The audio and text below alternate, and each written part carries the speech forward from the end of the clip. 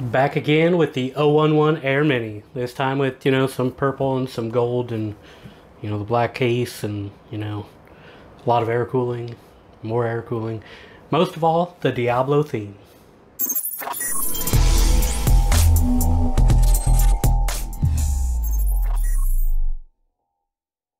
Welcome Simple Rudd. This episode is just a quick focus on the custom build for my third customer now, so slowly racking them up. They wanted a Diablo Treasure Goblin, mostly the golden purple as you can see, and went with the Lian Li 011 Air Mini, mainly because it was here, but secondly because it is an amazing case. It was great to build in, looks great, has a great finish. So I didn't do a whole lot with custom paint since it's shipping. I did, however, paint the 3070 mainly because EVGA likes to throw red on there. And for anyone not doing a red theme well it sucks.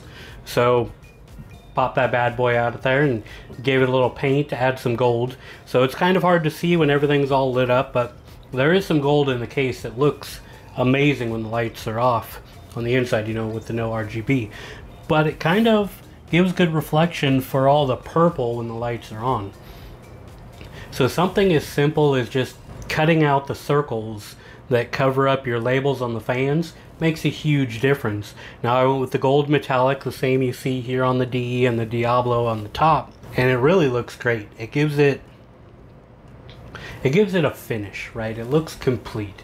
You know, when you see all those labels on the back and they're I don't know, it just feels kind of tacky or unfinished. So really when I put that on, that's what felt like it pulled the whole build together. Um, this is a 5600X paired with a 3070 EVGAs, which is amazing. I did put Noctua's NH-D15 because damn, and damn, right? Looks amazing, cools amazing, and you're never to have issues, right? So with this thing shipping, it'll be a little bit easier to keep that safe through shipping than say a custom loop or anything like that. Not to mention, you know, you really don't see the failures. AIOs don't fail that often, but when they do, it can be somewhat catastrophic. With something like the air cooler, the fan's either working or the fan's not working. It's pretty easy to tell. And this thing keeps the temps nice and cool because, I mean, you've got 140s everywhere.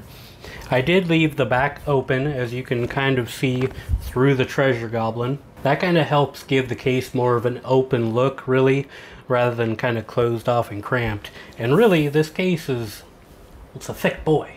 You know, there's a lot of room for activities in here. So the 140s were great. Now, you could pull out the top and bottoms and put six 120s, which would have been cool as well, but I really like the Phanteks 140s. They're a good price, they're good cooling, and they look great and they're easy to get in the triple bundles. They daisy chain really easy for the fan and for the RGB, so it really makes your building simple as well. Now let's do a quick cut to get the B-roll, right? Probably be a rather short one, and then I'll get back to you to wrap this video up.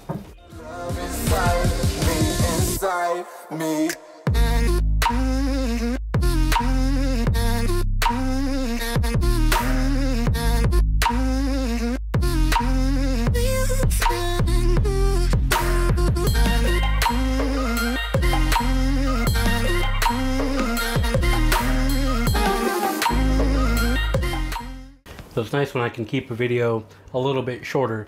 You know, you already seen what it was like to build in this in my previous video. And Lian Li's doing a great job of making cases that look great and are easy to build in. Now, easy to build in is nice when you're building for customers and you're doing a lot of builds. You know, when I did my build, I had the Phanteks Shift X, and that thing was not easy to build in. But at the same time, it's not something I'm going to rebuild in right? I put a lot of work into that initial build and it was done. I'm not changing it. The next thing I'm gonna do is tear it apart and probably, you know, shelf the nice case. To whereas this is something that, you know, if you want to keep upgrading your hardware, you can keep this case around forever. It'll be easy to build in, it'll be easy to swap stuff out of because you just have so much room. The only thing that kind of made it difficult was just the massive Noctua cooler. But really wasn't that difficult. It was still, uh, you know, an overall straightforward build, and the room for cable management is phenomenal. More case manufacturers need to focus on that because not only do you have a ton of room in these cases for it, they do a great job of hiding it all, right? So if it doesn't look that pretty in the back, it doesn't really matter because you can just hide it right? You don't have to look at it all the time. It's only going to be a nightmare when you've got to go swap some hardware out. Now, don't forget to subscribe. Comment down below, you know, hit like if you liked the video. I'm going to keep rolling out content. I'm going to try and focus on keep bringing, you know, case reviews and building in cases. Those seems to be the videos that, that bring in the views. And I'm just looking at what you guys want to see. So, you know, let me know down below what kind of content you want to see, and I'll do my best to bring it to you. Thank you.